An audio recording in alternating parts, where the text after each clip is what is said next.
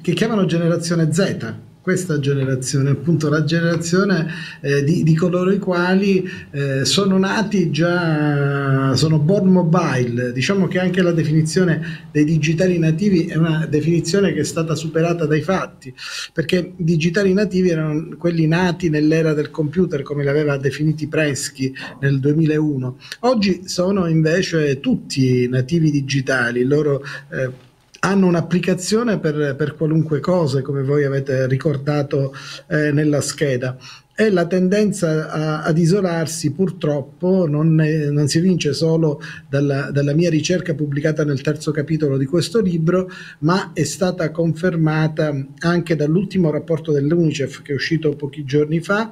ed è stata confermata anche dall'appello lanciato dal Bambin Gesù che nel periodo proprio perché va tra febbraio e dicembre di quest'anno ha visto aumentare al 30% i casi di autolesionismo e i casi di suicidio, quindi di tentato suicidio. Quindi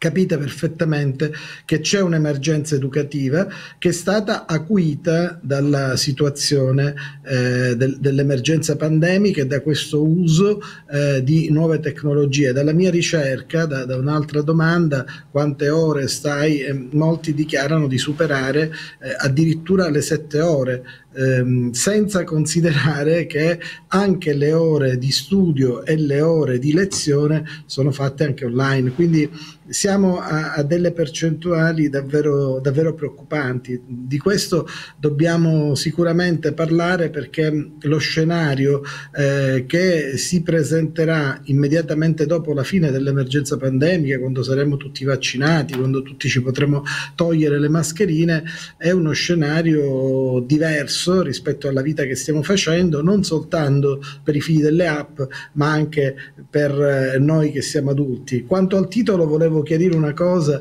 eh, lei ha avuto direttore un'intuizione felice, nel senso che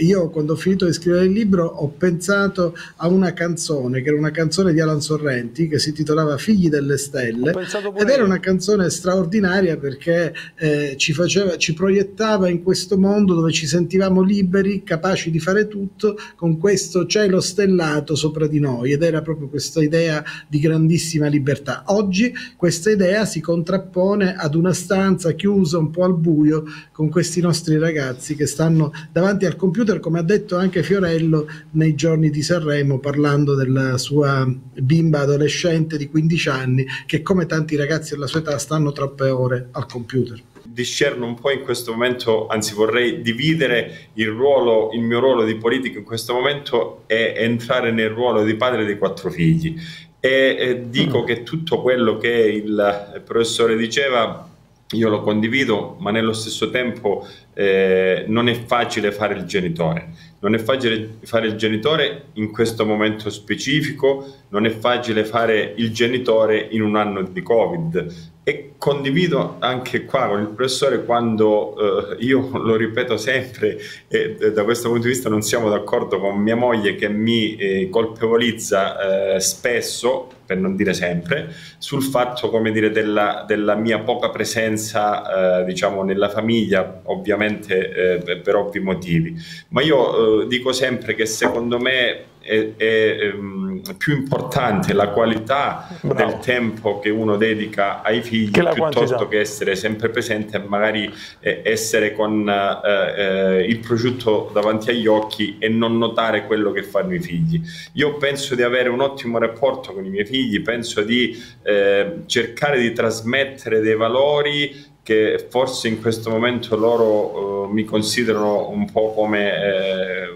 una persona che la pensa all'antica. D'altro canto mi sforzo uh, per cercare di capire quali possono essere le, le loro esigenze attuali. Io eh, so dire eh, no ai miei figli, so anche accontentarli eh, in quello che è giusto. Quindi come in tutte le cose bisogna eh, utilizzare il buonsenso, dosare, il, avere il giusto equilibrio e quindi se questo lo faccio nella famiglia a maggior ragione lo devo trasferire e traslare in quella che è la mia attività attività politica